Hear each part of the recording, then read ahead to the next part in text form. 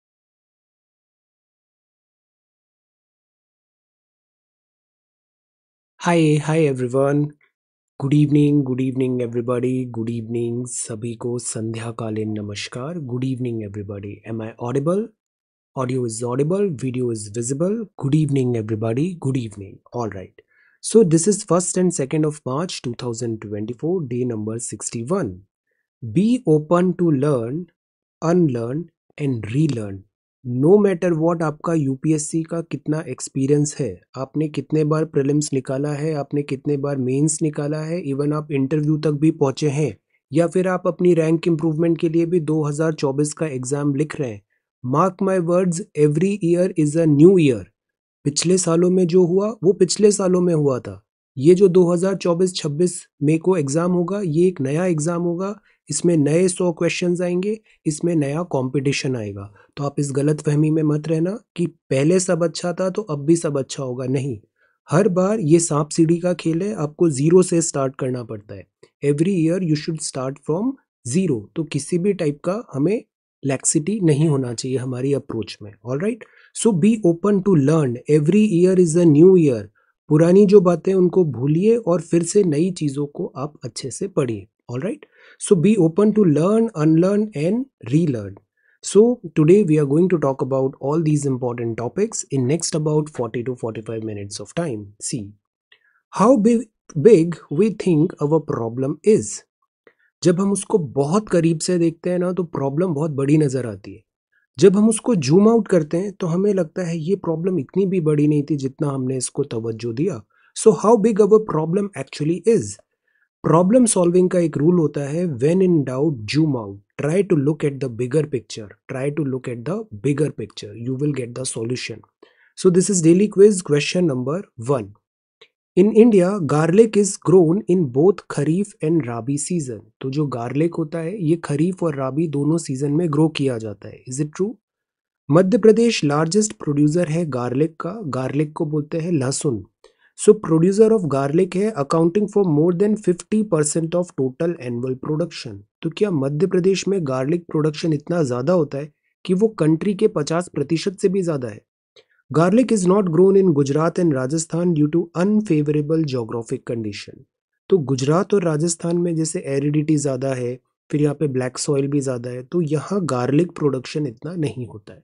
So tell what is the right answer जो garlic है, ये खरीफ क्रॉप भी है और राबी क्रॉप भी है। Is it true garlic is a kharif crop and rabi crop both the thing is it is true Madhya Pradesh largest producer है garlic का 50 प्रतिशत से ज़्यादा total 50 is a very big number extreme statement no 50 से ज़्यादा जो total production है garlic का वो होता है मध्य प्रदेश में। दिस इज़ एब्सोल्युटली ट्रू ये 50 ही नहीं 60 परसेंट से भी ज़्यादा है। सो so, पहला भी सही है और दूसरा भी सही है। गुजरात और राजस्थान में गार्लिक ग्रोन नहीं होता है। नहीं ऐसा भी नहीं है कि ग्रोन नहीं होता है but percentage is less so this is wrong this is true and this is also true so the right answer here is B the right answer here is B first and second true है third is wrong question number two nominal G D P is the total market value of all the goods and services produced in India in a financial year तो nominal G D P total market value of all goods and services जो एक साल में होता है. Nominal G D P is derive from the real G D P by removing the effect of inflation तो inflation को दूर करके जो जी डी पी आती है रियल जीडीपी तो उससे बोलते हैं nominal GDP is it true fiscal responsibility in budget management act stipulate that the total borrowing fiscal deficit can not be more than six percent of the nominal GDP तो जो आपकी total borrowing होती है वो छः प्रतिशत of इस nominal uh, GDP से ज़्यादा नहीं होनी चाहिए। एफआरबीएम का ये एक्ट बोलता है। तो बताइए इसमें से राइट right आंसर क्या होगा? राइट right आंसर क्या होगा? नॉमिनल जीडीपी जो है, ये टोटल मार्केट वैल्यू है रियल वैल्यू नहीं मार्केट वैल्यू जिसमें इन्फ्लेशन भी है। So total market value of all goods and services financial year में है, इसको बोलते हैं नॉमिनल जीडीपी तो नॉमिनल जीडीपी मतलब इंक्लूडिंग द इन्फ्लेशन इफ़ेक्ट ये हो गया सही। नॉमिनल जीडीपी डिराइव होती है रियल जीडीपी से by removing the effect of inflation तो नॉमिनल जीडीपी डिराइव होती है रियल जीडीपी से। रिमूविंग या एडिंग ये एडिंग होगा। रियल जीडीपी में जब हम इन्फ्लेशन का इफ़ेक्ट डालेंगे, तब जाके नॉमिनल जीडीपी आएगा, ये रिमूविंग नहीं होगा। So this is wrong physical F R B M छः प्रतिशत बोलता है, ये भी गलत है। ये तीन प्रतिशत बोलता है। तो ये गलत ये गलत और पहला हो गया सही। So what is the right answer A is the right answer only one okay question number three यहाँ पे बात है controller of certifying authority is the Indian governments authority for monitoring digital signature digital signature मतलब e science है, उनको सी C A monitor करता है।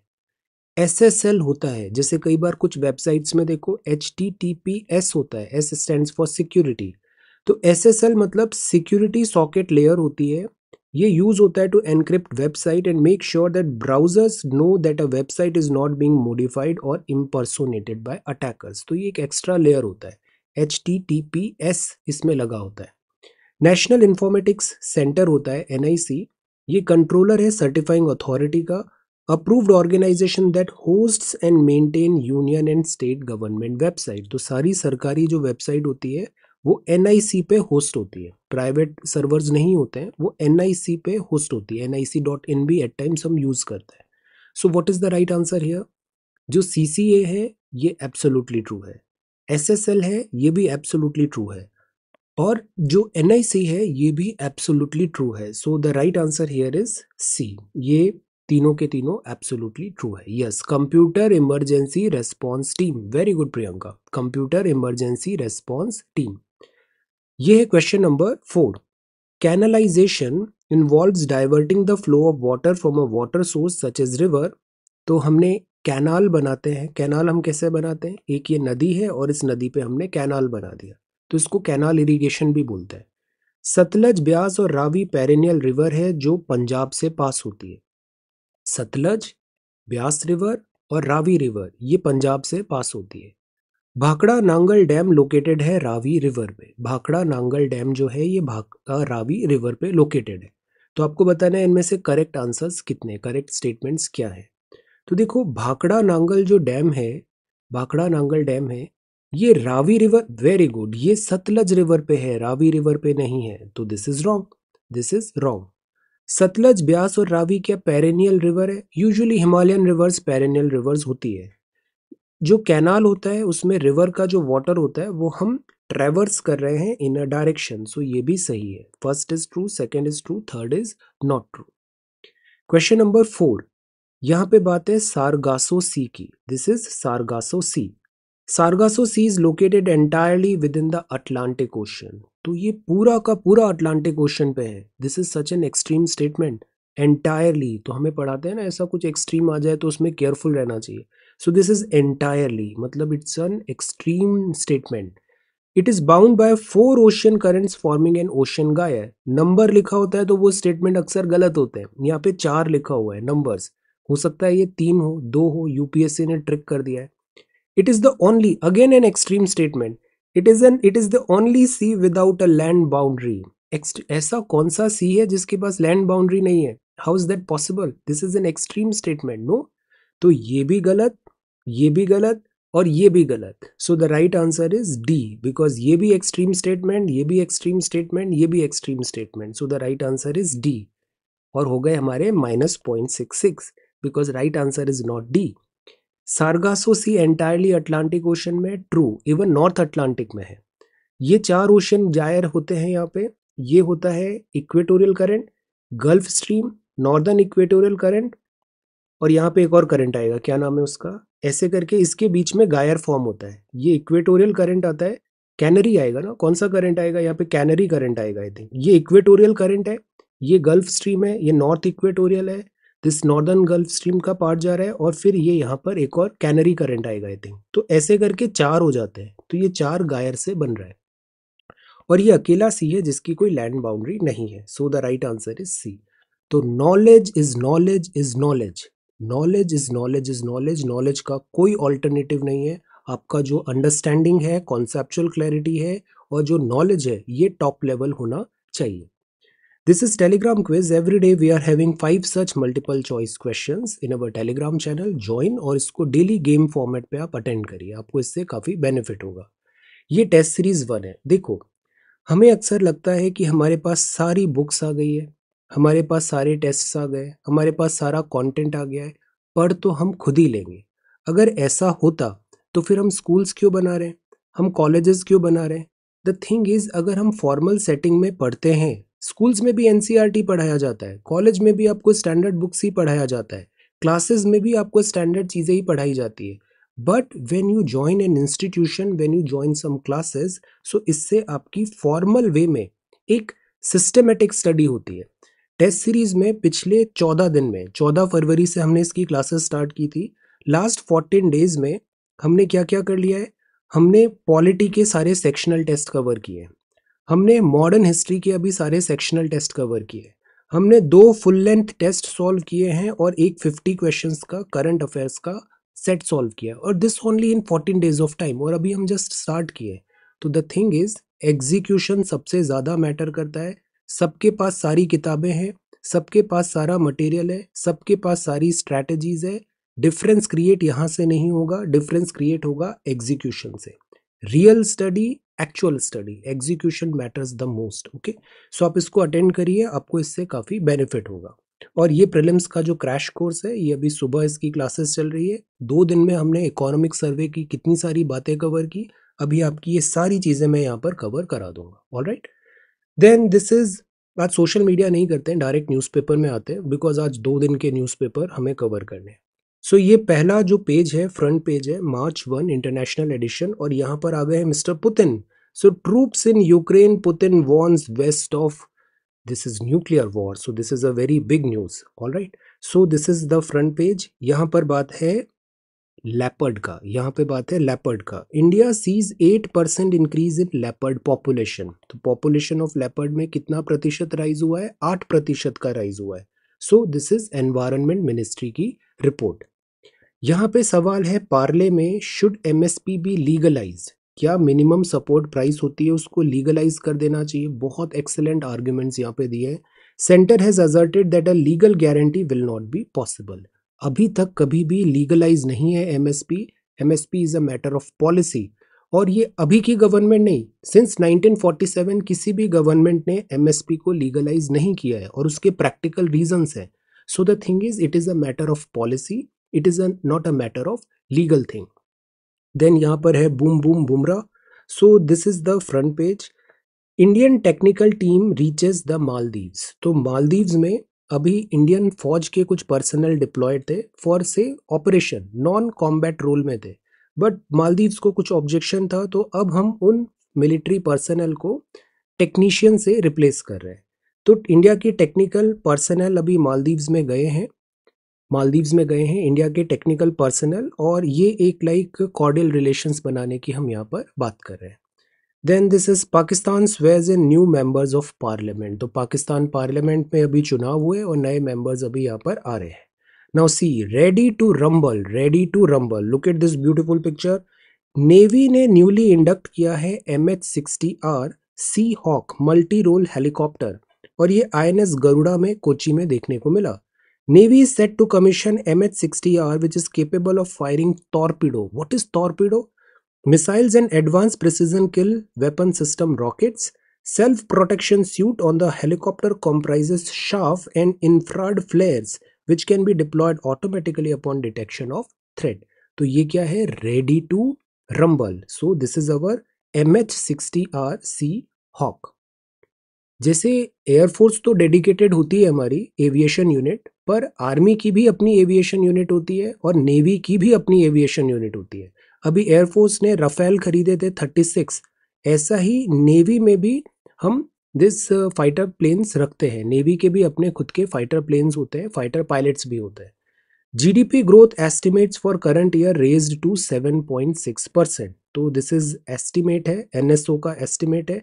GDP growth rate यहाँ पे बताई जा रही है सात दशमलव छः प्रतिशत which is a good number बताइए टॉर्पीडो क्या होता है? तो this is gross value added कुछ दिन पहले हमने ये वर्ड सुना था, जब हमने पढ़ा था क्रिप्स मिशन क्रिप्स मिशन जब इंडिया में आया था तो सर स्टैफोर्ड क्रिप्स थे लेबर पार्टी के. तो जो बाकी ब्रिटिश पार्लियामेंटेरियंस थे, उन्होंने क्रिप्स के एफर्ट को टॉर्पीडो कर दिया था. So what is the meaning torpedo कर दिया था. So this is core sector growth slows to 15 month low in January तो स्ट्रगलिंग फार्म सेक्टर है कोर सेक्टर में थोड़ा स्लो डाउन देखने को मिला है। जीवीए हम तब इस्तेमाल करते हैं टर्म जब हमें सेक्टर स्पेसिफिक डेटा बताना होता है। Then this is next one C geological survey of India ने एक नया डिस्कवर किया है सी स्लग और इसका नाम रखा है प्रेसिडेंट मुर्मू के नाम पे। तो this is Melanochlamys this is too much of biology so इसमें हेड शील्ड सी स्लग है रूबी रेड स्पॉट में। तो यहाँ पर जोलॉजिकल सर्वे ऑफ़ इंडिया ने इनका एक बड़ा अच्छा सा यहाँ पे नाम रखा है। और ये नाम जो रखा है this name is after president Murmu तो this is Z S I और ये एक मेरीन स्पीशीज है। ये हेड शील्ड सी स्लग है, जिसमें रूबी रेड स्पॉट होता है। ये वेस्ट बंगाल और उड़ीसा की कोस्ट में देखने को मिलती है। All right so this is good very good then ये जो स्पीशीज है, इसको कंफर्म किया है। देखो, ऐसी स्पीशीज मिलना अच्छी बात होती है because this tells biodiversity biodiversity biodiversity है मतलब our ecology is sustainable Jammu Kashmir liquor revenue source record bid for this licence तो जो लिकर है, ये राज्यों का एक बहुत इंपॉर्टेंट सोर्स ऑफ़ रेवेन्यू होता है। ये जो लिकर होता है। सो दैट इज़ वाई जब लिकर बैन की पॉलिसी आती है तो इस पर यह सवाल उठता है, इससे गवर्नमेंट एक्सचेकर को बहुत नुकसान होगा। बिकॉज़ लिकर पे गवर्नमेंट बहुत सारे टैक्सेस लगाती है। आप बताओ, ये जो लिकर के टैक्सेस हैं, ये स्टेट सब्जेक्ट में आएगा या फिर यूनियन सब्जेक्ट में आएगा? लिकर स्टेट सब्जेक्ट है या फिर यूनियन सब्जेक्ट है? कुछ राज्यों में लिकर का बैन है, जैसे गुजरात में लिकर बैन है और बिहार में भी लिकर बैन है। So Jammu Kashmir liquor revenue source this much then this is next one यहाँ पे बात है रिदमिक रिचुअल रिदमिक रिचुअल तो थेयम है what is this this is Theyyam Theyyam artist performing at the Chala Kadankottu Makkam Bhagavathi temple in Kannur district on Thursday so what is this this is Theyyam Theyyam है. Deadline for 60 percent Kannada uses in sign boards extended language का थोड़ा difficulty है यहाँ पे. Amid row tourist resorts Rushikonda where is Rushikonda Rushikonda है वाइजाग में। वाइजाग बहुत beautiful है। वाइजाग में है ऋषि कोंडा यहाँ पे ऑलिव सी टर्टल्स का भी हम नेस्टिंग साइट देखते हैं। तो यहाँ पे बात है कोस्टल रेगुलेटरी जोन अप्रूवल देने का। बिकॉज़ अगर यहाँ पे टूरिस्ट एक्टिविटीज़ बहुत ज़्यादा होती है तो इससे डिफ़िकल्टी आती है। Then this biology and eco diversity पे। Then this is next one Mizoram government will not collect biometric data of refugees तो रिफ्यूजीज जो है बेसिकली बांग्लादेश और म्यांमार से जो रिफ्यूजीज है, इनका जो डेटा है वो अभी कलेक्ट नहीं किया जाएगा। Then and pact with Kuki जो groups Manipur assembly tells centre stay order है हाई कोर्ट में won't lapse automatically supreme court ने बताया जो स्टे ऑर्डर है वो एज इट इज़ रहेगा। एक है आर्टिकल 226 और एक है आर्टिकल 32 दोनों के थ्रू रिट्स इशू होती है 226 के थ्रू रिट्स इशू करती है हाई कोर्ट और 32 के अंदर करती है ऑनरेबल सुप्रीम कोर्ट पहली टेक्निकल टीम है from India arrives in Maldives तो मालदीव्स में ये टेक टीम आ गई है इंडिया की, जो मिलिट्री पर्सनल को रिप्लेस कर रही है। Attack on BSF personnel by criminals में be rage during Bangladesh stock so this is a cause of concern जो बॉर्डर सिक्योरिटी फोर्स है, ये बांग्लादेश बॉर्डर को गार्ड करती है border security force Pakistan border को भी गार्ड करती है। नेपाल बॉर्डर को कौन सी फोर्स गार्ड करती है? आंसर और म्यांमार फोर्स म्यांमार भी बहुत इंपॉर्टेंट है। म्यांमार बॉर्डर को कौन सी फोर्स गार्ड करती है? ये भी answer twenty Indian sought help to return from battle front तो ये अराउंड ट्वेंटी हैं जो मॉस्को गए थे रशिया में वर्क के लिए बट इनको वहाँ पे फौज ज्वाइन करा दी गई। Now they wants to come back then this is next one thirty lakh की पेनल्टी दी है एयर इंडिया में ओवर दिस पैसेंजर्स दिस यहाँ पर एक दिस केस हुआ जिसमें एयरलाइन को यहाँ पे पेनल्टी दिया है। व्हील चेयर जहाँ पर नहीं मिल पाया था और फिर डिफ़िकल्टी हुई। इंडिया की जो लेपर्ड पॉपुलेशन है, ये बड़ी है तेरह हज़ार आठ सौ चौहत्तर। मध्य प्रदेश में सबसे ज़्यादा लेपर्ड मिलते हैं। तो ये क्या है लेपर्ड देखो कंफ्यूज नहीं होना है। This is not cheetah cheetah is different leopard is different jaguar is different lion is different tiger is different और और क्या होते हैं? दिस अमेरिका में क्या मिलता है? अमेरिका में this puma puma is different puma is different ये सब डिफरेंट डिफरेंट कैट की स्पीशीज़ है। So forest surveyor covers nearly साढ़े छः lakh kilometre looking for carnivore signs across twenty states man animal conflict बढ़ रहा है ट्वेंटी टू परसेंट यहाँ पर कैट पॉपुलेशन डिक्लाइन हुई है उत्तराखंड में। एक जैगुआर भी होता है। सो so, इंडिया के जो लेपर्ड हैं ये आठ प्रतिशत पॉपुलेशन बढ़ी है। तेरह हज़ार आठ सौ चौहत्तर हमने इनको आइडेंटिफाई किया है।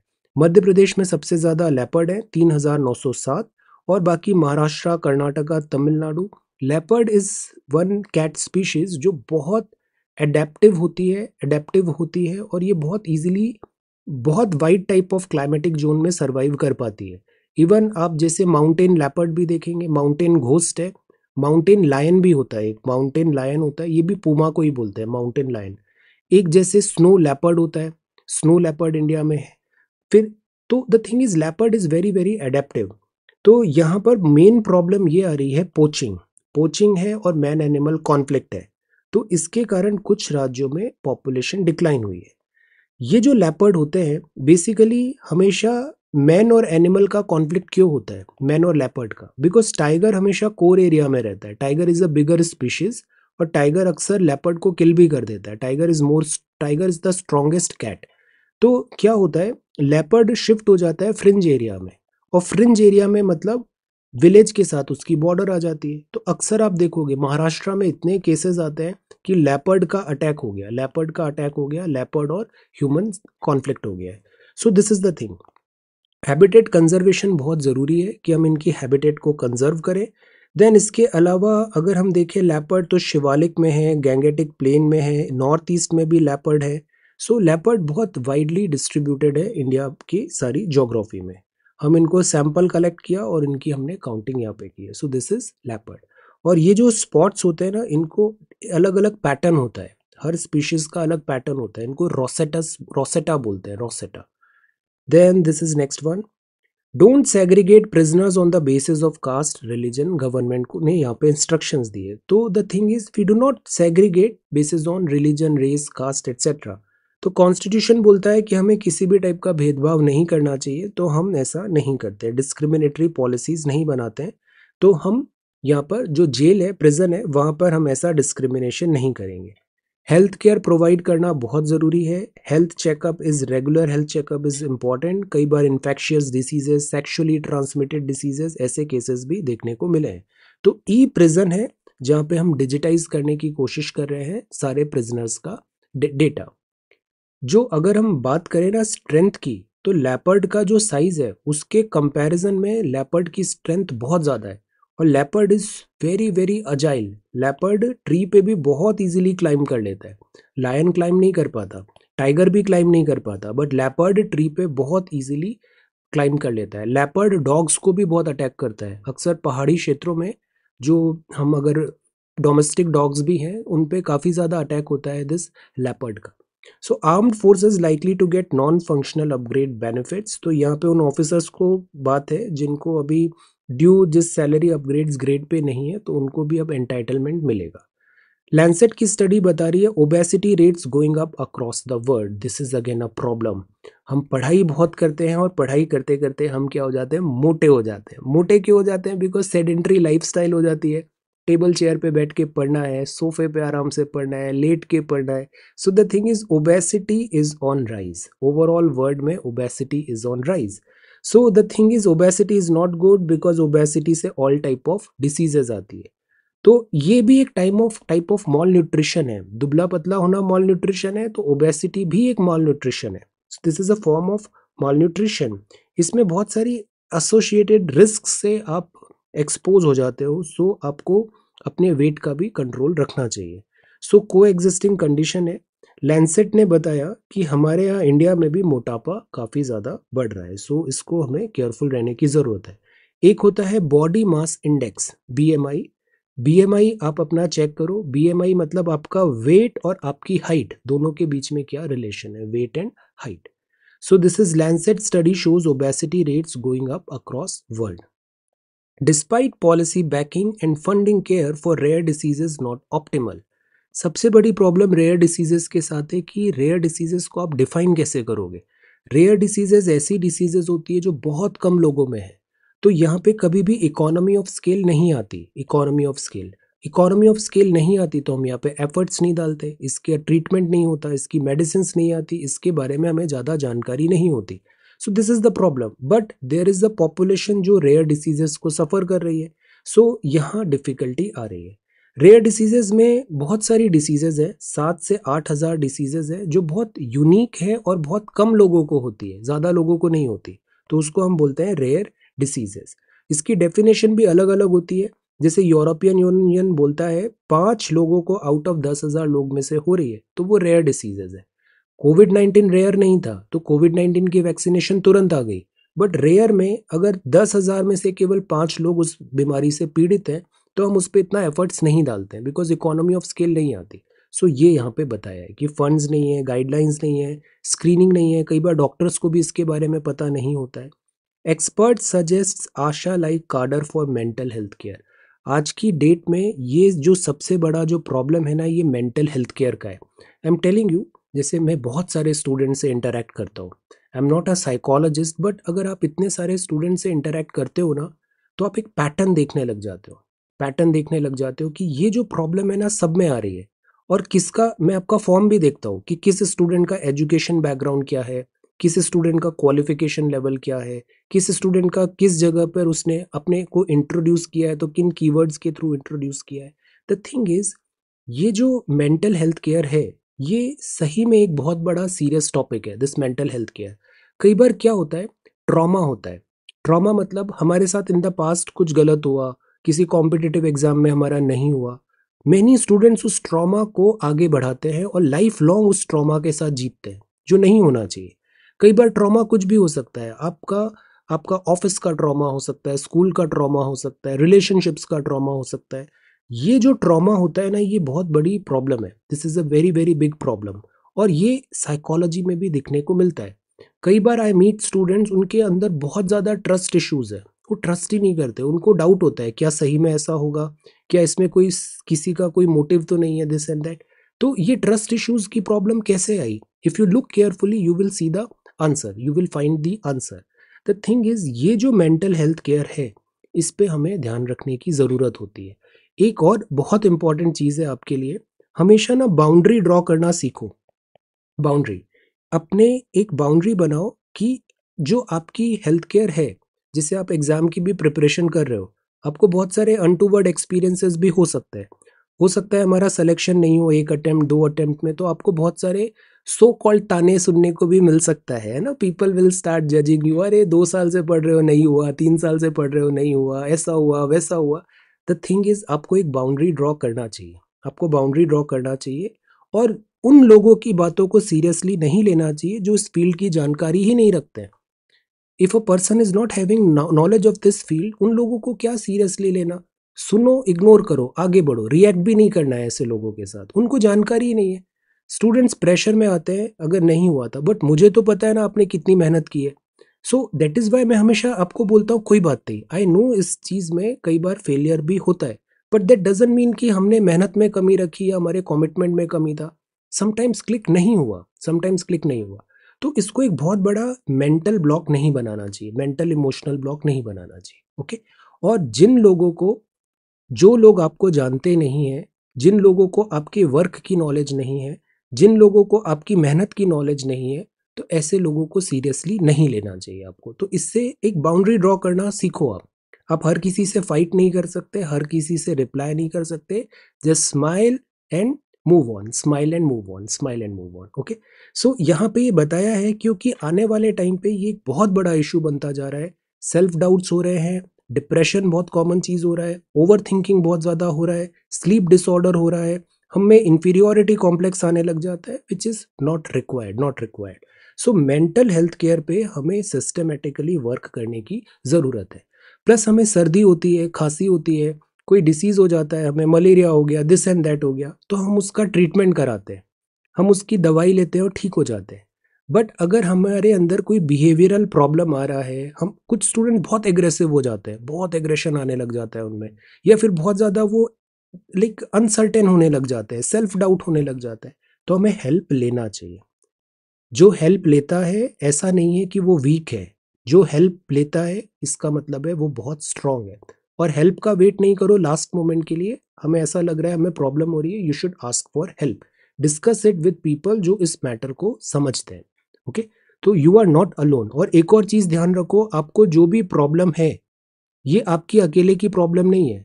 आपके जैसे नहीं तो भी दस हज़ार लोगों को सेम प्रॉब्लम हुई होगी और दस हज़ार लोगों ने उस प्रॉब्लम का सॉल्यूशन भी निकाला होगा और दस हज़ार लोगों ने उस प्रॉब्लम को ओवरकम भी किया होगा। So you are not alone मुझे एक स्टूडेंट ने अभी अभी एक मैसेज भेजा, बड़ा अलोन फील कर रहा है I am not going to take name but उसने अभी अभी जस्ट ऐसा एक मैसेज भेजा है थोड़ी देर पहले। तो ऐसा नहीं है, आप अलोन फील नहीं हो, करो। आप खुद को ऐसा वर्थलेस वर्ड उसने यूज़ किया ऐसा नहीं फील करो। The thing is it is not okay है ना? बी स्ट्रॉन्ग मैं आप ही से बात कर रहा हूँ बी स्ट्रॉन्ग खुद को डाउट मत रखो और बिल्कुल प्रभावित मत बोलो आपको किसने क्या बोल दिया। आप अपने पे भरोसा रखो। कई बार चीज़ें वर्क करती है, कई बार चीज़ें वर्क नहीं करती है बट दैट वो चीज़ आपको डिफाइन नहीं करती okay so be a fighter और एक कम बैक करो, अपना कम बैक करो all right and go easy easy रहो यहाँ पे, लोगों को सीरियसली नहीं लेना है है ना? खुद को भी सीरियसली नहीं लेना है सिंसियरिटी के साथ रहना है बस ऑल राइट चलो so this is like this Rajya Sabha है ना? ऐसे ओवर थिंकिंग नहीं करना है बिल्कुल भी, ऐसा ऐसा, ऐसी बातें भी नहीं करना है यस कोई कोई बात नहीं, होता है, सबके साथ होता है डाउट्स भी सबको आते हैं फॉर्म भी, विराट कोहली का फॉर्म डिप हो गया था, दुनिया ने कितनी बातें सुना दी उसको, उसका भी फॉर्म डिप हो गया था तो आता है, ऐसा एक फ़ेज़ आता है बट द थिंग इज़ वो आपको डिफाइन नहीं करता है, आप कम बैक करो, आपका कॉन्फिडेंस आएगा, आपका वापस सारी चीज़ें ट्रैक पे आ जाएगी, खुद को बैक करो, खुद को बैक करो, और खुद के लिए इतने हार्श मत रहा करो, जब हम दुनिया को माफ़ कर देते हैं, इतनी सारी गलतियों के तो हम खुद को क्यों नहीं माफ़ करते हैं? Go easy pamper your self all you have got is your self go easy go easy e evidence new criminal law its implementation e evidence new criminal law its implementation अब यहाँ पे प्रॉब्लम क्या आ रही है? भारतीय न्याय संहिता हम ला रहे हैं, भारतीय नागरिक सुरक्षा संहिता ला रहे हैं और भारतीय साक्ष्य अधिनियम ला रहे हैं। तो ये रिप्लेस करेंगे इंडियन पिनल कोड को क्रिमिनल प्रोसीजर को और इंडियन एविडेंस एक्ट को।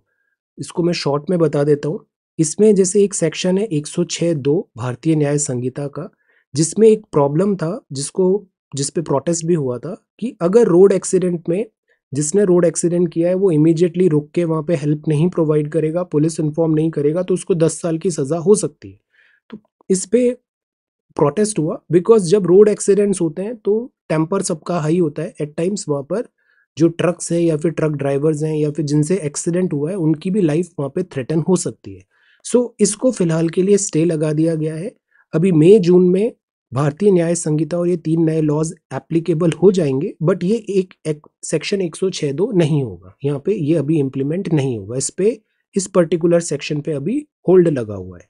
तो मिनिस्ट्री ऑफ़ होम अफेयर्स ने बताया कि हम पुराने सारे लॉज को रिप्लेस कर रहे हैं। गुड यहाँ पे बात है इलेक्ट्रॉनिक रिकॉर्ड को क्या एविडेंस माना जाएगा और उसको सर्टिफाई कैसे किया जाएगा?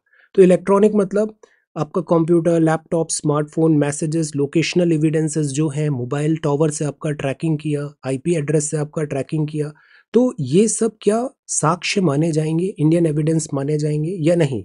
तो the thing is some things कुछ जो पैरामीटर्स हैं वो माने जाएँगे। अगर वो नॉन टेम्परेबल है नॉन टेम्परेबल है, जैसे सेमीकंडक्टर मेमोरी हो गया कम्युनिकेशन डिवाइसेस की कुछ बातें हो गई तो ये टेम्परेबल नहीं है, ये माने जाएँगे। बट सम जो एस्पेक्ट्स है, वो नहीं होंगे क्योंकि ऑब्वियसली वहाँ पे डीप फेक जैसी चीज़ें आ जाती है। बहुत सारा फेक होता है, ज़रूरी नहीं इंटरनेट में जो डेटा है वो टेम्पर हो जाता है। Deep fake is also there AI भी काफ़ी पावरफुल हो गई है। सो इलेक्ट्रॉनिक डिवाइसेस में हमेशा एक certain degree of this degree of हमें एक्यूरेसी के लिए एक सर्टेन सेफ्टी गार्ड होना ज़रूरी है।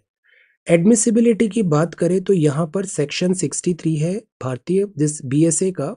इंडियन एविडेंस एक्ट का साक्ष्य एक्ट इसमें कोर्ट ने बोला था कि न्यू प्रोविजंस क्वालिफाई होंगे साइन को नॉन होगा इलेक्ट्रॉनिक रिकॉर्ड एप्लीकेबल होगा बट द थिंग इज़ उसमें एक सर्टेन सेफ्टी लेयर होना ज़रूरी है। कोर्ट ने बोला सर्टिफिकेट चाहिए होगा इसमें और सर्टिफिकेट जो आएगा उसमें भी काउंटर साइन होगा।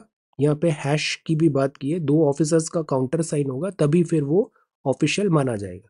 जैसे आपको पता है एक टेस्ट होता है नार्को टेस्ट नार्को टेस्ट का नाम सुना है अपने नार्को टेस्ट होता है, क्या ये narco tests as an evidence माना जाता है कोर्ट में?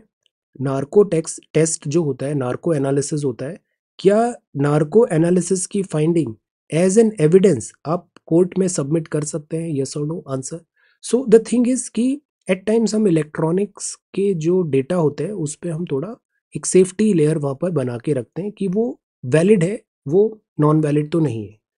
ये है word of informal waste picker तो ये जो वेस्ट पिकर है, जैसे आपका कोई जंक हो गया इलेक्ट्रॉनिक्स वेस्ट हो गया, या कोई सामान खराब हो गया तो उसको जंक को हम वेस्ट में डालते हैं।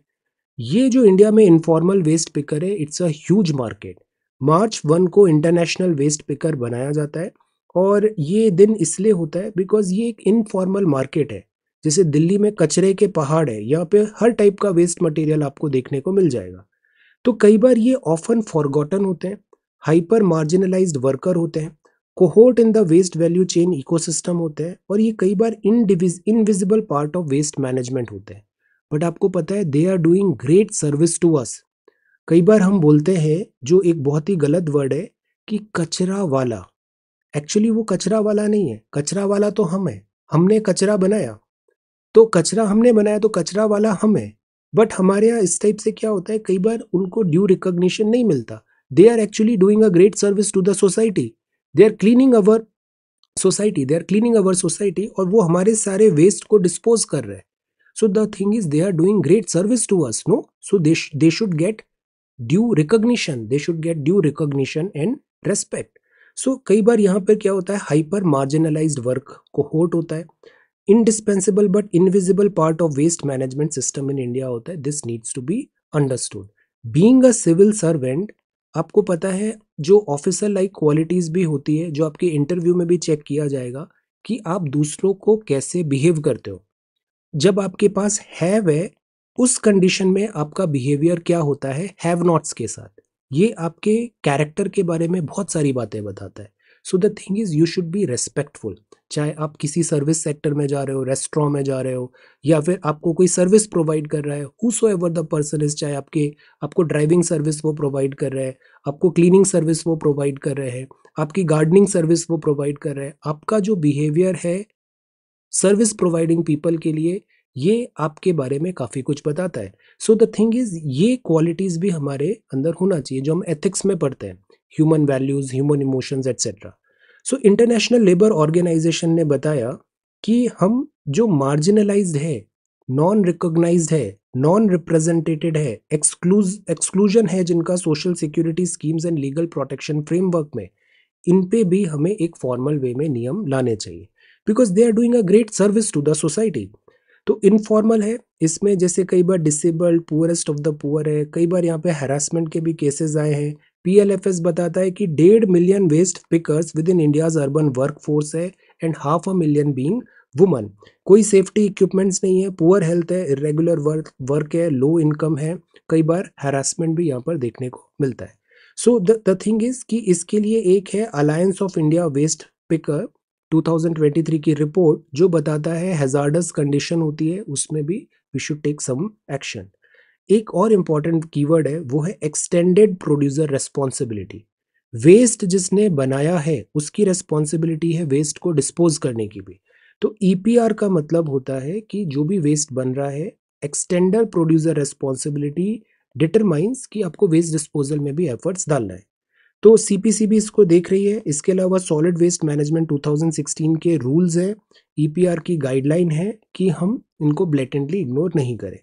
प्लास्टिक ट्रीटी भी है because plastic is the biggest chunk of waste जो प्रोड्यूस हम करते हैं और प्लास्टिक नॉन बायोडिग्रेडेबल भी होता है। 59 परसेंट जैसे प्लास्टिक मटेरियल है collected for recycling so this is the waste picker possess traditional knowledge around handling waste which the E P R system and its implementation so इस context में हमें एक formal way में एक solution इसको find करने की कोशिश करना चाहिए। अभी एक हैकाथॉन भी हुआ था। हैकाथॉन में भी ये टॉपिक आया था। जैसे देर वॉज़ अ टाइम जब हमारे यहाँ फ़ूड डिस्ट्रीब्यूशन अनऑर्गेनाइज था। बट फिर ऐसे कुछ ऐप्स आते हैं स्विगी आता है जोमेटो आता है। ये क्या करते हैं? उनको एक ऑर्गेनाइज वर्क में लाते हैं। हमारे यहाँ टैक्सी कैब सर्विसेज़ बहुत अनऑर्गेनाइज थी। तो हमने क्या किया? उनको एक ऑर्गेनाइज वर्क में लेके आए। तो क्यों ना हम ऐसे कुछ आइडियाज़ बनाएँ, हम ऐसा कुछ थिंक करें। आप लोग सोचो ऐसा कुछ आइडिया बनाएँ कि हम जो हमारी जो वेस्ट पिकर है ऐसा कोई प्रोसेस करें कि इनको भी इंसेंटिवाइज हो जाए? जैसे अभी आई थिंक अयोध्या में ही ये अनाउंस हुआ था कि जो पुराना बिस्लरी या पानी का बॉटल लाएगा, उनको दो रुपए ऐसा कुछ मिलेगा वेस्ट का अगर आप लेके आ रहे हो। तो why not we find a solution innovative solution so that ये जो वेस्ट डिस्पोजल है, इसको भी हम ठीक कर दें और साथ ही साथ हम सॉल्यूशन भी फाइंड कर लें। ऐसा सोचिए क्या हो सकता है। Should minimum support price be legalise MSP जो होता है, इसको हम कैसे लीगलाइज कर सकते हैं? लीगलाइज कर सकते हैं। यस ग्रैटिट्यूड हमारे कंडक्ट में होना चाहिए। वी शुड बी ग्रेटफुल एक कोट है ना, हम जितना ग्रैटिट्यूड दिखाते हैं, हमको उतनी ही अपॉर्चुनिटीज़ और मिलती है और ज़्यादा ग्रैटिट्यूड दिखाने के। तो ग्रैटिट्यूड इज़ वन करेंसी आप उसको जितना खर्च करोगे, आपको उतना ही और मिलेगा। उतना ही और अपॉर्चुनिटी मिलेगी, आपको उतना ही और ब्लेसिंग्स मिलेंगी। तो gratitude is something the more you spend it the more opportunities you get to spend it even more so should minimum support price भी लीगलाइज अब यहाँ पे कुछ बड़े अच्छे आर्ग्यूमेंट्स है। एमएसपी को क्या लीगलाइज कर देना चाहिए? देखो, इसके दोनों पहलू है। प्राइमरली जो गवर्नमेंट का पहलू है, हम उसको मान रहे हैं अभी, और गवर्नमेंट बोलती है प्रॉब्लम ये आती है एमएसपी से एक तो बायोडाइवर्सिटी की प्रॉब्लम आती है। इकोनॉमिक बर्डन बहुत ज़्यादा आ जाता है। दूसरा जो डब्ल्यू और ऐसे इंस्टीट्यूशन है, वहाँ पर हमेशा जैसे amber box subsidy, green box subsidy etcetera वहाँ पर डिफ़िकल्टीज आती है इंटरनेशनल में भी। और प्लस एमएसपी ओवरऑल कई बार जो एग्रीकल्चर है, उसके जो स्पेक्ट्रम है, उसको भी डिस्टॉर्ट करने का, उसमें दिस अगर अनचेक्ड सब्सिडी होगा तो प्रॉब्लम आएगा। तो गवर्नमेंट ऐसा नहीं बोल रही कि सब्सिडी नहीं होना चाहिए। गवर्नमेंट बोलती है सब्सिडी होना चाहिए बट ये एज अ पॉलिसी मैटर होना चाहिए। It should not be like a legal thing कानून के तहत जो हो रहा है, इसको अभी किसी भी गवर्नमेंट ने आज तक नहीं किया है। Not this government any government किसी भी गवर्नमेंट ने लीगलाइज नहीं किया है। So this is the thing M S P should be legalise then this is water crisis ये कर्नाटका है, कृष्ण राज सागर रिजर्वॉयर है। कर्नाटका और कर्नाटका के रिजर्वॉयर्स प्रिलिम्स के फेवरेट है। तो यहाँ पे मेजर प्रॉब्लम आ रहा है। मैक्सिमम रिजर्वॉयर का पानी की कमी है। पाँच सिटी बेंगलुरु बनता जा रहा है। आज बहुत इंपॉर्टेंट टॉपिक्स है। राज्यसभा इलेक्शंस ये भी इंपॉर्टेंट है। I am trying to be quick Rajya Sabha का इलेक्शन होता है आर्टिकल 80 में। आर्टिकल 80 में होता है राज्यसभा का इलेक्शन और ये इनडायरेक्ट इलेक्शन होता है। हमारे विधायक लोग राज्यसभा के एमपी को चुनते हैं। पर ये जो वोट होता है, ये ओपन बैलेट होता है। सीक्रेट बैलेट नहीं होता, जैसा अभी लोकसभा चुनाव में हम देंगे। ये ओपन बैलेट है। मतलब आपने किसको वोट डाला है, ये पता सबको रहेगा कि आपने किसको वोट डाला है। बट इसको चेक करने के लिए क्या होता है, पॉलिटिकल पार्टी एक रिप्रेजेंटेटिव वहाँ पे बैठा देती है। तो पॉलिटिकल पार्टी इंस्ट्रक्शन देती है कि ए पॉलिटिकल पार्टी है, ए पॉलिटिकल के सारे विधायक इस बी पर्सन को वोट देंगे। तो ये रिप्रेजेंटेटिव उसको चेक कर रहा है। बट एट टाइम्स ए के पॉलिटिकल पार्टी के विधायकों ने क्रॉस वोटिंग कर दिया। उन्होंने कहा, नहीं, हम पॉलिटिकल कैंडिडेट दूसरा चूज़ कर लेंगे। तो वो ऐसा कर लेते हैं। पर ये तो पार्टी लाइन के अगेंस्ट हो गया। पार्टी लाइन के अगेंस्ट हो गया तो पॉलिटिकल पार्टी बोलेगी, आपने हमारे इंस्ट्रक्शंस फॉलो नहीं किए, हम आपको एंटी डिफेक्शन के थ्रू हटा देंगे। तो क्या ऐसा हटाया जा सकता है? बताइए। आपने पॉलिटिकल पार्टी के इंस्ट्रक्शंस को फॉलो नहीं किया। पॉलिटिकल पार्टी ने बोला था, ए पर्सन को वोट दो, आपने बी को दे दिया। तो क्या पॉलिटिकल पार्टी आप पे विप लगा सकती है और आपको बोलेगी कि अब आपको हम एंटी डिफेक्शन के थ्रू आपने बात नहीं मानी तो हम पॉलिटिकल पार्टी से आपको हटा रहे हैं, आपकी विधायकी चली जाएगी। इज़ इट पॉसिबल क्या ये पॉसिबल है? अगर आपने पॉलिटिकल पार्टी की बात नहीं मानी तो इसमें वॉयलेशन ऑफ़ विप हो गया। विप हो गया तो फिर आपको हटा दिया जाएगा। क्या ये पॉसिबल है? एक्चुअली ऐसा नहीं है। आर्टिकल 80 जो बोलता है, ये बोलता है इनडायरेक्टली इलेक्टेड होगा एलए में। राज्यसभा का जो इलेक्शन होगा, वो वैकेंसीज के हिसाब से इलेक्शन होगा। राज्यसभा का जो इलेक्शन होता है, इसमें क्रॉस वोटिंग एक बहुत बड़ा समस्या होता है। अब इसमें आता है रिप्रेजेंटेशन ऑफ़ पीपल एक्ट तो राज्यसभा का जो इलेक्शन होता है, वो ओपन बैलेट से होता है। तो एमएलए जो होते हैं, वो पता लगा लेते हैं कि आपने किसको वोट डाला। तो the thing is showing ballot paper to the authorise agent और showing it to anyone else will disqualify the vote independent independent M L As are barred from showing their ballots to anyone but political party के जो M L A होते हैं, वो अपना vote दिखा सकते हैं। अब जो टेंथ शेड्यूल है, ये बोलता है anti defection law tenth schedule 1985 का। और इसमें ये होता है कि अगर आपने पॉलिटिकल पार्टी की बात नहीं मानी तो आपका हो जाएगा डिस्क्वालिफिकेशन बट 2017 का सुप्रीम कोर्ट का जज है, केस है, जो बोलता है कि with respect to voting against the instruction of the party anti defection law will not be applicable तो अगर आपने पॉलिटिकल पार्टी की बात नहीं मानी उसके अगेंस्ट वोट किया तो आप पे एंटी डिफेक्शन नहीं लगेगा, ऐसा 2017 का जजमेंट बोलता है। So furthermore political parties cannot issue any whip to its member for such elections तो कोर्ट ने ये रूल किया था ओपन बैलेट है, ताकि करप्शन नहीं हो करप्शन हटाने का सबसे आसान तरीका है ट्रांसपेरेंसी ट्रांसपेरेंसी होती है तो करप्शन नहीं होता। So that is why it is important tenth schedule जो है, वो यहाँ पर एज सच नहीं लगेगा, ये इन्होंने कहा है। तो वे फॉरवर्ड क्या होना चाहिए? वे फॉरवर्ड ये ही होना चाहिए कि हम यहाँ पर फ्री एंड फेयर मैनर पे राज्यसभा के चुनाव कराएँ। अभी मैं थोड़ा जल्दी चल रहा हूँ ना, आज थोड़ा लेट हो रहे हैं हम, मैं इसको एक बार फिर से कवर करूँगा। NATO membership in the cards for Ukraine है। यूक्रेन अभी नेटो मेंबरशिप ज्वाइन कर सकता है। ये है आत्मा pamphlet engage with caste through the eyes of a teenager know your English में है पहला वर्ड लेविटी और दूसरा वर्ड है लेविटी का मतलब लैक ऑफ़ सीरियस थॉट है। दिस इज़ लेविटी तो लेविटी मतलब opposite of gravity gravity gravity मतलब दिस इज़ पुलिंग डाउन और लेविटी मतलब ऊपर this is floating lack of serious thought है अनबिकमिंग एटसेट्रा तो दैट इज़ लेविटी ओके एक मैगलेव भी होता है मैगलेव एक ट्रेन बनाई थी, जिसमें जो ट्रेन होती है, वो एक्चुअली ऊपर फ्लोट होती है। ये कहाँ का? जापान एटसेट्रा का एक था कि ये मैगलेव ले ट्रेन लेके आए थे। मैगलेव, उसमें एक्चुअली जो व्हील्स होते हैं, वो ट्रैक के ऊपर फ्लोट होते हैं। उसको मैगलेव ट्रेन बोलते हैं मैग्नेटिक होता है वो। देन नेवी और नेवी में क्या डिफरेंस होता है? नेवी मतलब whole body of state ships of war etcetera और नेवी मतलब से लेबरर भी हो सकते हैं, जो एक्सकेवेटिंग रोड्स एटसेट्रा में एम्प्लॉयड है। देन टिफ़िन का ओरिजिन कहाँ से आया है? Bullet train yes very good venue bullet train this is tiffin tiffin British origin है, एक लाइट मील को हम टिफ़िन बोलते हैं टिफ़िन देन डिबेट और डिस्कशन में क्या डिफरेंस है? डिबेट एक फॉर्मल आर्ग्यूमेंट होता है, दो अपोजिंग पार्टीज़ के बीच में तो it is it is called debate और डिस्कशन मतलब गिव एंड टेक आइडियाज़ होते हैं and then we come to a conclusion discussion में हम क्लैरिटी सीख करते हैं. देन दिस इज़ जेन यहाँ पे वोकैब वर्ड है एड्यूम्बरेट एड्यूम्बरेट मतलब रफली ब्रीफली उसको एक्सप्लेन करना. क्विक क्विक क्विक ईरान ने सैटेलाइट लॉन्च किया है Israel minister then this is recorded wildfire है टेक्सास में एंड स्पेन की टॉप कोर्ट है साइलेंट एडवोकेसी है this is silent advocacy Pakistan की पार्लियामेंट है mob rule is not good rule then this is Eiffel tower है Sudan है army then this is human rights violation Chinese government का capex 40.5 percent shrink हुआ है। Physical deficit चौसठ प्रतिशत तक हो गया है टारगेट के। जनवरी कोर है। Tata to build India's first lab as cabinet approves 1.25 lakh crore of chip facility तो Tata's again doing really really good work तो ये पहला यहाँ पर ऐसा लैब बनाने की बात है। मोरेटोरियम है एनबीएफसी हम चिप्स बनाएँगे सेमीकंडक्टर चिप्स क्रिटिकल मिनरल्स का ऑक्शन स्टार्ट हुआ है, तीन सौ बासठ मिलियन डॉलर का है क्रिटिकल मिनरल्स हैं ये। ये बेसिकली महाराष्ट्र, छत्तीसगढ़, मध्य प्रदेश, कर्नाटका, इधर डेकन बेल्ट में है। जापान का सॉफ्ट बैंक है then this is bank deposit बड़े हैं जापानीज शो ऑफ़ बॉटल है। So this is first of March है ना? अभी एक दिन का और है ना? थोड़ा सा पेशेंस पंद्रह बीस मिनट में जल्दी से इसको कंप्लीट कराता हूँ। तो लेसन ये है कि बैकलॉग नहीं होना चाहिए, रोज का काम रोज करना चाहिए। Okay so this is US drone sales है to India progress to next stage तो dollar three point nine nine billion का एक सेल हुआ है।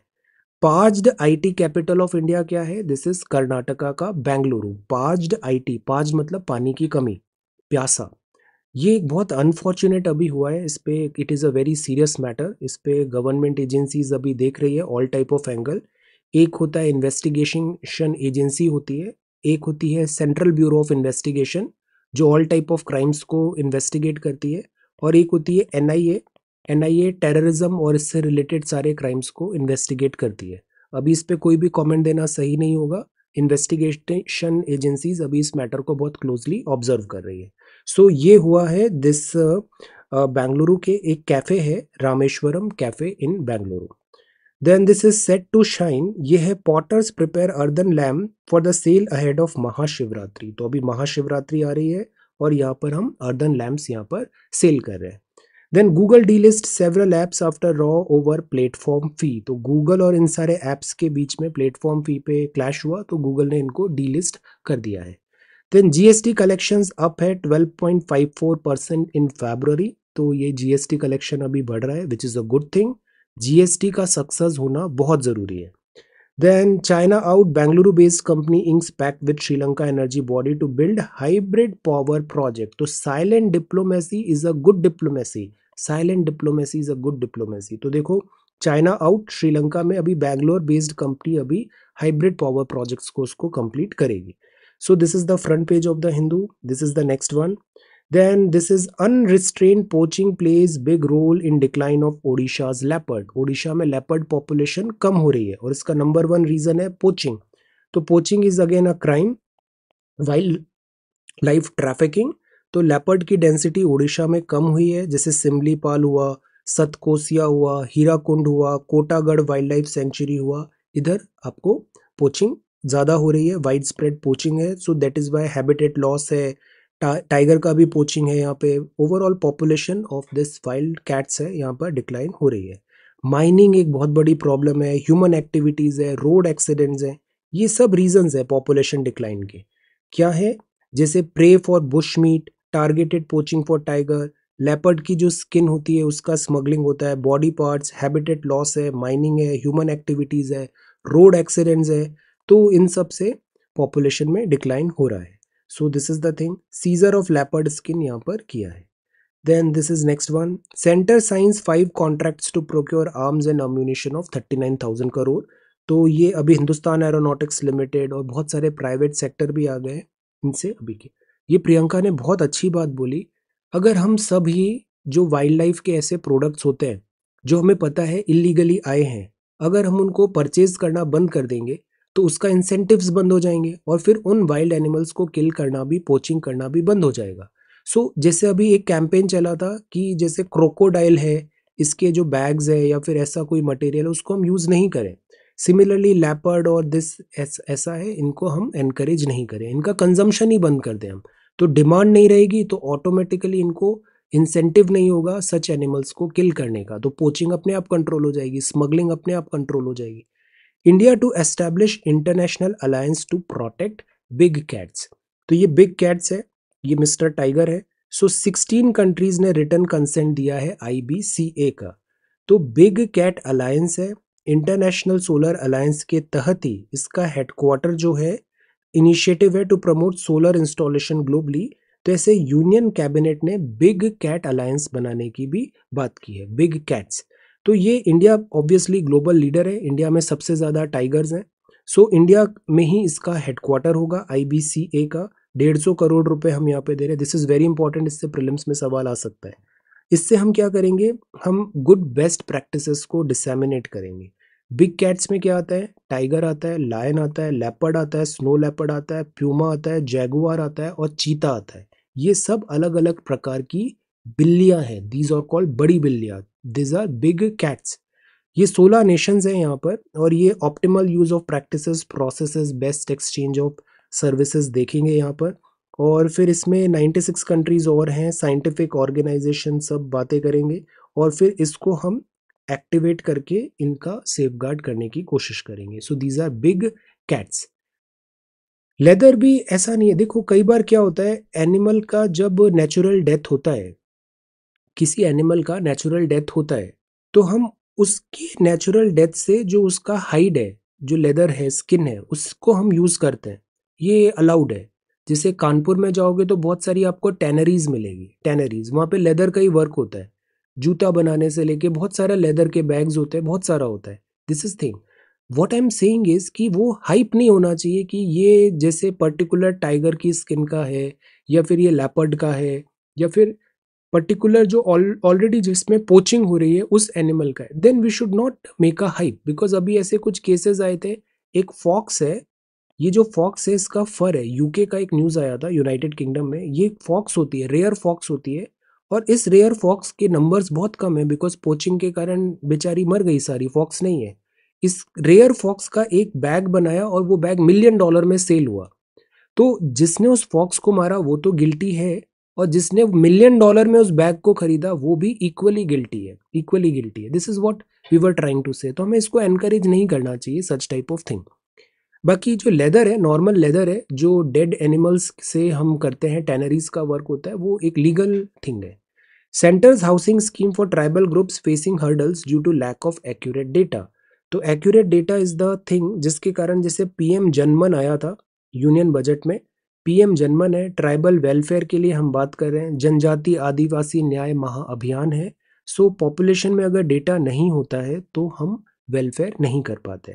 फ़ूड कॉरपोरेशन इतना पैसा लगा रहा है, फ़ूड ग्रेन बैग्स में then this is next one US drone sales to India progress to the next stage तो यूएसए क्या है? आर्म्स एंड वेपन्स का एक बहुत बड़ा मैन्युफैक्चरर है, और वो इनको बेचता है, और बेचने से ही उसको पैसा मिलता है। तो what is USA USA is a is the biggest manufacturer of weapons and these planes and all the weapon equipments और वो इनको सेल भी करता है। सेल भी करता है और उस सेल से अच्छे खासे पैसे भी बनाता है। So the thing is thirty one M Q nine B high altitude endurance drone है, जो हम यूएस से यहाँ पे प्रोक्योर करने की बात कर रहे हैं। और लुक एट द नंबर इसीलिए मैं आपको हमेशा बोलता हूँ वॉर का नेचर समझना बहुत ज़रूरी है। ये जो वॉर है, ये एक मल्टी बिलियन डॉलर बिज़नेस है मल्टी बिलियन डॉलर बिज़नेस है। तो we need to understand 3.99 billion का यहाँ पर अभी एक डील है। तो again this is important because safety security भी ज़रूरी है। हम डिफ़िकल्ट नेबरहुड में हैं। So seventy five thousand crore अभी एमपी में इन्वेस्ट होगा। गूगल ने कुछ ऐप्स हटा दिए हैं। कॉरपोरेट रेट में टैक्स हुआ है तो इससे इन्वेस्टमेंट एंड जॉब्स बढ़ेंगे। एलिफेंट बहुत सेंटिमेंटल होता है, एलिफेंट बहुत फैमिली ओरिएंटेड स्पीशीज़ है और elephant is very intelligent and very very sensible animal elephant तो यहाँ पर है, जिससे वो क्या होता है, एलिफेंट जैसे उनके जो डेड काव्स भी होते हैं तो उनको अलग से बैरी होता है अनट्रोडन पार्ट्स में। तो ये जो एनिमल का हम देखते हैं ना, ऐसा नहीं है कि जानवरों में इमोशंस नहीं होते उनमें भी उतने ही इमोशंस होते हैं, उनको भी पेन होता है, उनको भी सौरो होता है, उनको भी ऑल टाइप ऑफ़ डिफ़िकल्टीज होती है जो एज अ ह्यूमन हम इमोशंस देखते हैं। सो द थिंग इज़ ये यहाँ पे बताया है दिस एक टैक्सा में स्टडी करके बताया है एनिमल का behaviour Supreme Court to hear PETA this is this is अभी अभी वेडिंग हो रहा है जामनगर टेन डेज़ के लिए अभी इंटरनेशनल टैग है for ten days okay then this is change in continuity in Palestine policy तो पैलेस्टीन जो पॉलिसी है इंडिया की बड़ी क्लियर है, हम बात करते हैं इसराइल भी होगा और हम बात करते हैं पैलेस्टीन भी होगा। दोनों इंपॉर्टेंट है, दोनों इंपॉर्टेंट है। इसराइल भी इंपॉर्टेंट है और पैलेस्टीन भी इंपॉर्टेंट है और हम टू स्टेट्स थ्योरी को बैक करते हैं और वॉर नहीं होना चाहिए अमिकेबल सॉल्यूशंस यहाँ पर फाइंड करने हैं। डिकोडिंग द स्क्रिप्ट है, इसमें जीनोम सीक्वेंसिंग की बात है। मैं थोड़ा क्विक हो रहा हूँ। जीनोमिंग सीक्वेंसिंग की बात है। जीनोम क्या होता है? हमारी बॉडी में डीएनए होते हैं। कितने? थर्टी सिक्स पेयर्स होते हैं। तो द थिंग इज़ अगर हम दस हज़ार इंडियंस के जीनोम को स्टडी करेंगे तो हमें बहुत सारा डेटा मिलेगा जीनोम सिक्वेंसिंग का। सो दिस इज़ द अभी एक डेटा हुआ जो इंडियन टेन थाउज़ेंड इंडिविजुअल्स को स्टडी किया और उसमें हमने देखा डिफरेंट प्रोटीन्स क्या है, वहाँ पे किस जेनेटिक में किस टाइप की डिसीजेज होने के चांसेस हो रहे हैं। बिकॉज़ आने वाले टाइम पे हम CRISPR Cas nine technology भी ला रहे हैं। बहुत सारे जो जेनेटिक डिसऑर्डर्स होते हैं, उन जेनेटिक डिसऑर्डर्स को हम दूर कर सकते हैं with the help of medical science so ऐसे करके यहाँ पे बात हुआ और फिर यहाँ पे ये भी बात हुआ, जैसे endogamy is not okay endogamy is not okay फिर ऐसे इन्होंने बताया बिकॉज़ इससे जीन डेवलपमेंट नहीं हो पाता है जीन डेवलपमेंट नहीं हो पाता है। तो ऐसे तीन बिलियन का ह्यूमन जीनोम प्रोजेक्ट है, हमने यहाँ पे सारी स्टडी की और इस जीनोम सीक्वेंसिंग से हम बहुत सारी डिसीजेज एट्सेट्रा को भी हम वार्ड ऑफ़ कर सकते हैं। This is vulnerable to criticism Tamil Nadu में सारे कलेक्टर्स को ईडी का कॉल आ गया है तो इस पर अभी बात है।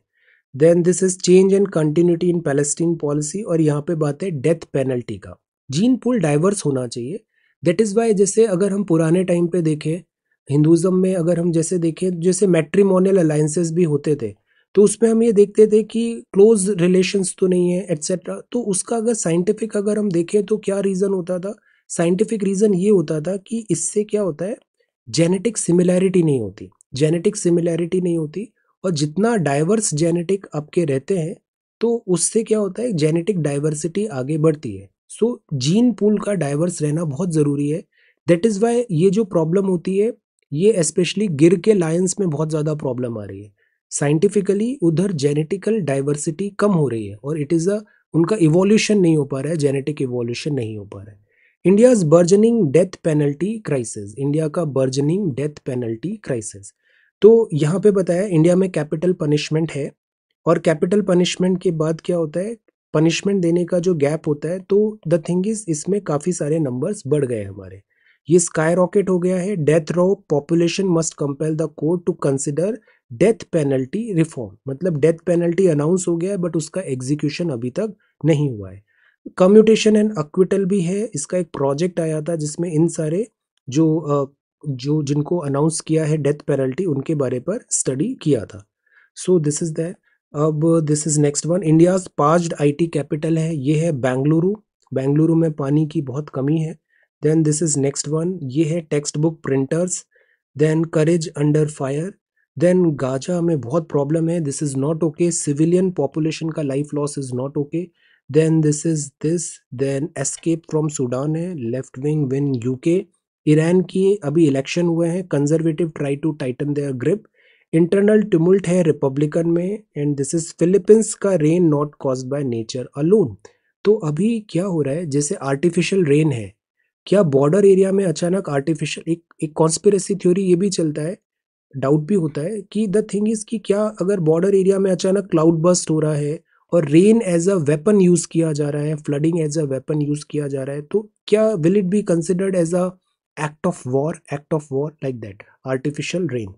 Then silencing evil hai then this is tower of london then fiu hai then this is paytm then sebi hai. Undersea cable disruption exposes india's crucial telecom vulnerability. हमारे क्रिटिकल इंफ्रास्ट्रक्चर पे अगर अटैक हो रहा है तो क्या ये भी एक एक्ट ऑफ़ वॉर है? क्रिटिकल इंफ्रास्ट्रक्चर में हमारी बैंकिंग आ जाएगा, हमारा से स्टॉक मार्केट्स आ जाएगा, हमारी पावर ग्रिड लाइंस आ जाएँगी, हमारा रेलवे एविएशन यूनिट आ जाएगा, हमारा दिस फाइनेंस पूरा इंक्लूड हो जाएगा। तो जो न्यू एज ऑफ़ वॉरफेयर है, in new age of warfare में सच अटैक्स भी देखने को मिलते हैं। आज हम थोड़ा लेट हो गए। मैं न्यूज़पेपर में सिंसियरली ट्राई कर रहा हूँ, उसको मैं ऑर्गेनाइज करता हूँ। मॉर्निंग में ही हम इसको करेंगे कंटिन्यू करेंगे डेली बेसिस पे। All right so let us अभी इस डेली ब्रीफ सेशन को यहीं एंड करते हैं। आंसर डिस्कशन और कुछ और सेक्शन है, उसको मैं कल अभी इजीली सारी चीज़ों को करता हूँ। The thing is everyday means everyday मतलब हमें सारे न्यूज़पेपर्स देखना चाहिए। इससे हम टच में रहते हैं बहुत सारे करंट अफेयर्स में और ये आखिर में बहुत काम आता है जब हम कंपाइलेशन करते हैं सारी चीज़ों का। Okay all right so thank you so much for watching this video take care study well and be safe see you tomorrow early in the morning nine thirty because nine thirty पे ही आपका exam है. Nine thirty पे ही सुबह आपका exam है. तो this is the time रोज सुबह साढ़े नौ से साढ़े ग्यारह आप पढ़ाई करो. डिसिप्लिन एंड कंसिस्टेंसी से. तो सुबह हम बात करेंगे क्रैश कोर्स प्रिलिम्स रिवीजन की 9:30 एएम पे. All right so thank you so much for watching this video take care study well and be safe good night everybody take good care of yourself और overthinking नहीं करना है। ज़्यादा नहीं सोचना है। कोई भी प्रॉब्लम हो मैसेज करो। I will talk to you I will talk to you all right मेरा नंबर है आपके पास। व्हाट्सएप पे मुझे टेक्स्ट करो। ज़्यादा ओवर थिंकिंग नहीं करना है। है ना? ज़्यादा सीरियस भी नहीं होना है। सिंसियर होना है बस। सिंसियर होना है। और little by little one travels far little by little one travels far easy going में काम करना है। इजी गोइंग में। ऑल राइट और in the end it is just an exam ये बस एक एग्ज़ाम है, जो बड़ा ही स्टूपिड सा भी एग्ज़ाम है तो इस एग्ज़ाम को भी ज़्यादा सीरियसली नहीं लेना है। ये बहुत स्टूपिड एग्ज़ाम है आई एम टेलिंग यू तो ज़्यादा सीरियसली नहीं लेना है इसे। ऑल राइट चलो good night everybody take good care of yourself see you tomorrow